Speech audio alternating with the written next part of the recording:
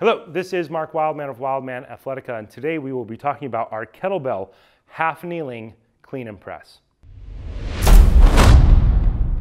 What we are doing with a half kneeling clean and press is we are compromising our leg position into other than just perfect stance.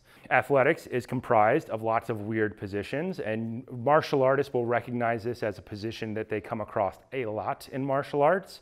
Uh, there are more martial arty versions of this exercise. We're gonna start with this one because this can also be used as a breakout to support training for heavy Turkish get up. Every time we change our foot position, we change the way our core fires. This is a stable version of a half compromised position. People who do gun technique will recognize this position as being a position that people are in and out of all the time. When we set up for this position, we are in our half kneeling.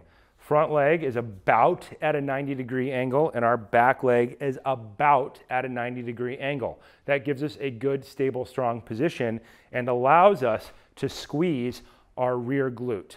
Squeezing this rear glute is part of the press, as it is with all presses. Squeeze the glutes, support the bottom of the core to stabilize the lower back for the press itself. We are going to combine our clean technique with our press technique and put it all together. We're gonna set up our handle so that we can turn our thumb pointed back. We are pointing our thumb back. Here is our hip hinge. We are still going to snap our hip to start to propel the weight up. Elbow stays close to the body.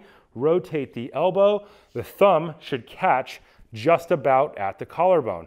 From here, we are gonna open up, press all the way up. Our palm is going to be facing the front of the room. Our elbow is going to lock and we are gonna have the weight behind our body so that our entire arm is perfectly vertical. The weight is behind us, our arm is vertical.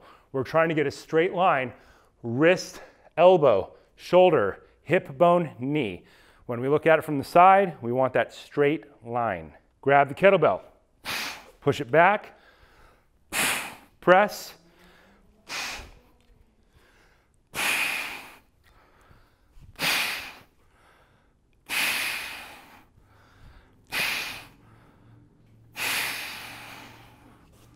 24K kettlebell, as the weight gets bigger, you're gonna see the body compensate more and more and more. That's the point. Balance is defined as your body pulling itself back to center. It doesn't have to just be standing on one leg. It can be balance in any position. The weight is trying to drag us away from center. We're fighting to stay in center.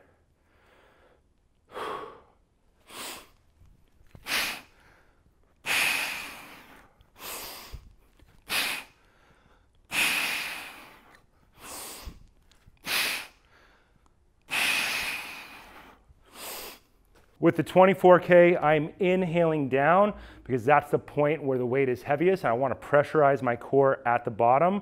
With a lighter weight, you can exhale, exhale, exhale so that you can get more inhales in to do more reps to endure longer. The heavier the weight, your breathing is going to change in order to stabilize your body throughout the range of motion of the swing. 28K, a little bit heavier, you're going to see a little bit more movement as I do the press, I might have to escape a little bit into a little bit of a side press before pulling my body back into a straight line. That's okay. That's part of the exercise.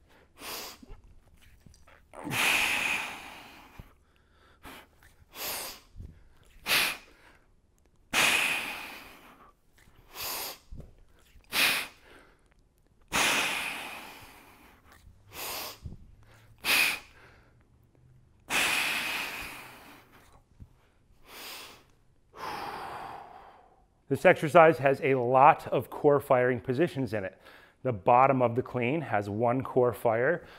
The top of the clean has another core fire. And the third position, top of our press, has yet another core fire. Every time we move that weight, the muscles in here have to shift the tension in order to stabilize our body. That is what we want. We are trying to get these muscles to work in a variety of different useful athletic positions. The reason I love the half kneeling clean and press is because it is in lots of martial arts positions, and it is in lots of gunfighting positions, are all positions that we train when we train for movies. You have to be good at these positions, and this is a breakout. Later on, you can link it into standing all the way up, coming down, turning around. There's a thousand variations on this exercise, but they are all built on this fundamental movement pattern.